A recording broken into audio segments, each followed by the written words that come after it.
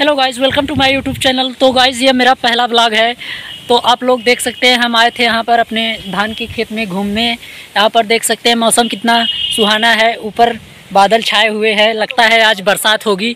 तो गाइस ये मेरा पहला ब्लॉग है। कमेंट करके बताइए ब्लॉग कैसा लगा? और मेरा पहला ब्लॉग है तो लाइक सब्सक्राइब सपोर्ट ज़रूर करिएगा।